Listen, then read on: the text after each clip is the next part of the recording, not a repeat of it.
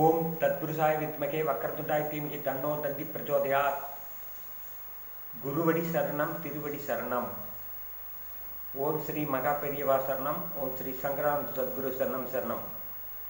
அனைவருக்கும் பணிவான வணக்கங்கள். சித்தி சிவா ஜோதிடத்தின் எஸ் தங்கவேல் கவுண்டர் வழங்கும்.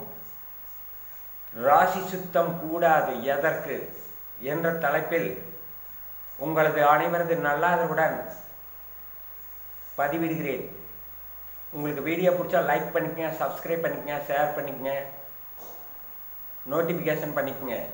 உங்களது அனைவரது நல்லாதருடன் சித்தி சிவா ஜோதிடத்தின் எஸ் தங்கவேல் கவுண்டர் நன்றி.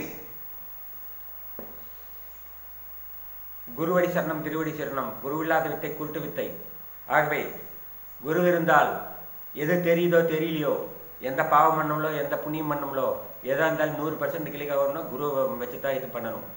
குரு பிரம்மா குரு விஷ்ணு குரு தேவோ குரு மகேஸ்வரக குரு சாஷான் பரபரமே தஷ்மை ஸ்ரீமத் குருவே நமோ நமக. ஓம் ஸ்ரீ மகா பெரியவா சரணம் சரணம். ராசி சுத்தம் கூடாது எதற்கு? மேச ராசி முதல் மீனம் ராசி வரையில் பனிரெண்டு ராசி வீடுகளில் ஒன்பது கிரகங்களும் ராசி ஒவ்வொன்றிலும் ஒன்று என்று பரவலாக நின்றாலும் மூன்று ராசியிலே கிரகம் இல்லாமல் சுத்தமாக இருக்கும்.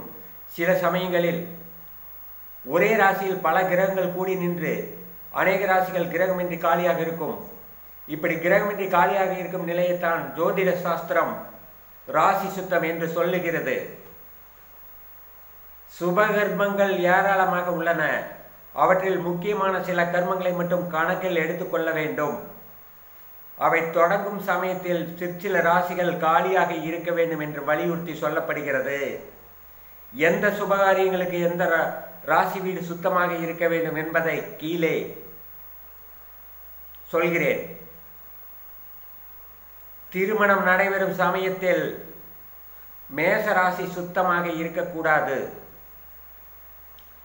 அப்பா அல்லது அம்மா அவங்க இருவருக்கும் சிரார்த்தம் செய்யும் போது முதல் முதல் செய்யும் பொழுது மட்டும்தான்.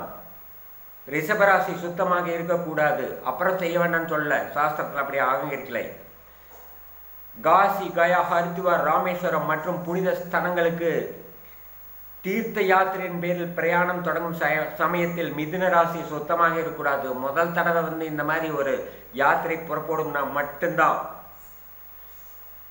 மாமரம் பலாமரம் வாழைமரம் மாதுளை மரம் ஆழ்மரம் அரசு போன்ற விருட்சங்களை வைக்கும் மரம் நடு விழாவின் போது கடகராசி சுத்தமாக இருக்கக்கூடாது. இது முக்கியமான இம்பார்ட்டன்ட் அடுத்தது. சும்மா படிக்கல ஜாதகம் நல்லா இருக்குன்னு சொல்கிறாங்க அப்படின்னு சொல்லும்போது இதையெல்லாம் பண்ணலாம் எங்கே போய் படிப்பு வரும்? அறியாமையின்றி உயிர்களை போக்கி கல்வி கற்பித்த குருவை காணும் செல்லும் சமயத்தில் சிம்மராசி சுத்தமாக இருக்கக்கூடாது. அதாவது வந்து படிப்புக்கு வந்து ஜாயின் பண்ணும்போது சிம்மராசியில் வந்து எந்த க அதாவது வந்து ஏதோ ஒரு கிரகம் இருந்தால் நல்லது. புதிதாக திருமணமான சமயத்தில் தம்பதிக்கு முதலிரவு என்ற சுபசோபனாதி நடைபெறும் சமயத்தில் கன்னிராசியில் வந்து சுத்தமாக இருக்கக்கூடாது. அமைக்கும் வீடு குடிசையாயினும் மாட மாளிகையின் அதற்கான அஸ்திவாரம் போடும் சமயத்தில் துளாராசி சுத்தமாக இருக்கக்கூடாது. விதை விதைக்க அல்லது நாற்று நட வயல்வெளி உலத் தொடங்கும் சமயத்தில் விருச்சிக ராசி சுத்தமாக இருக்கக்கூடாது. வீட்டிற்கு அல்லது வயக்காட்டிற்கு கிணறு வெட்ட அல்லது இருக்கும் கிணற்றை ஆழப்படுத்த அல்லது ஆழ்கிணர் குழாய் அமைக்க முயலும் சமயத்தில் தனுசு ராசி சுத்தமாக இருக்கக்கூடாது. சரி எப்படியாவது போர் போட்டவங்க என்ன பண்ணுறது அப்படின்னு சொல்லி இப்போ இது பண்ணும்போது அதுக்கு வந்து நமஸ்தம் பண்ணுற நேரத்துலையாவது இந்த மாதிரி ஒரு அமைப்பு இருந்தால் தான் இல்லைன்னா போர் போட்டு காசு வெட்டியில் போர்க்காரக்கு தான் போகும். சொன்னால் நம்மளை வந்து இதுன்னு சொல்லிப்படுவாங்க கப்பல் மூலம் பிரயாணத்தை தொடங்கக்கூடிய அயல்நாட்டு யாத்திரையை மேற்கொள்ளும் சமயத்தில் மகர ராசி சுத்தமாக இருக்கக்கூடாது. மகர ராசியில் ஏதாவது ஒரு கிரகம் இருக்க வேண்டும். முகசவரம் அல்லது முடிவிட்டு கொள்ளும் சமயத்தில் கும்பராசி சுத்தமாக இருக்கக்கூடாது. இது வந்து இதை சொன்னால் சிரிப்பு வரும். படிப்பு கருதி குழந்தைகளை பள்ளியில் சேர்க்கும் சமயத்தில் மீனராசி சுத்தமாக இருக்கக்கூடாது. மேற்கண்ட நேரங்களில் ஏதாவது சுப நிகழ்ச்சியை அவசியம் செய்ய வேண்டும் என்று நிற்படும் நிர்பந்தம் ஏற்படும் சமயத்தில் அந்தந்த ராசியில் ஏதாவது ஒரு கிரகம் இல்லாமல் சுத்தமாக இருந்தால் அந்த ராசிக்குரிய தேவதையை வழிபாடு செய்துவிட்டு சாந்தி சங்கல்பம் செய்துவிட்டு அந்தந்த சுபகாரியத்தில் ஈடுபட வேண்டும் என்பது மிக மிக அவசியமாகிறது. இவற்றையெல்லாம் எதிர்நோக்காமல் செய்யக்கூடிய காரியங்கள் சில சமயம் வெற்றிகரமாக முடியாமல் தோல்வியை தருகிறது. ராசிக்கு அதிதேவதை யார் என்று எனது குருவினுடைய நல்லாசி மூலமாக உங்களுக்கு பகிர்கிறேன். மேச ராசியில் ஸ்ரீ சுப்பிரமணிய கடவுள். ரிஷபராசிக்கு வந்து மதுரை மீனாட்சி அம்மன். மிதுன ராசிக்கு ஸ்ரீ மகாவிஷ்ணு. கடகராசிக்கு வந்து பரதசக்தி.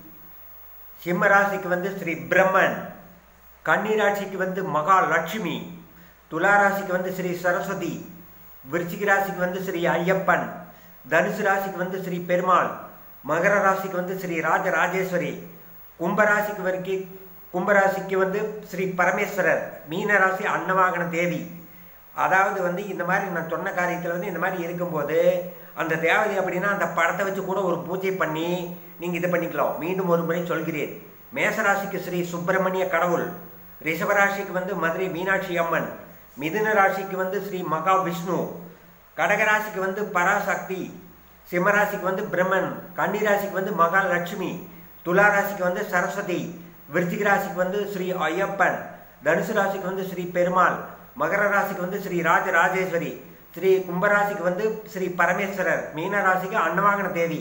அப்போ ஒரு காரியம் பண்ணுறீங்கன்னா நீங்கள் இந்த எந்த காரியம் பண்ணுறீங்களோ அதுக்கு தகுந்த மாதிரி வந்து இந்த இது வந்து உங்களது ஜோதிடர்களிடம் கேட்டு நீங்கள் தெரிந்து கொண்டு செய்வது எனது குருமார்களுடன் அருளாசிப்படி நான் சொல்கிறேன். நான் கண்டுபிடிச்சலன்னு சொல்ல. அதை வந்து நீங்கள் கேட்டுட்டு செஞ்சீங்கன்னா உங்களுக்கு எல்லாமே தொட்டதெல்லாமே வெற்றி தான்.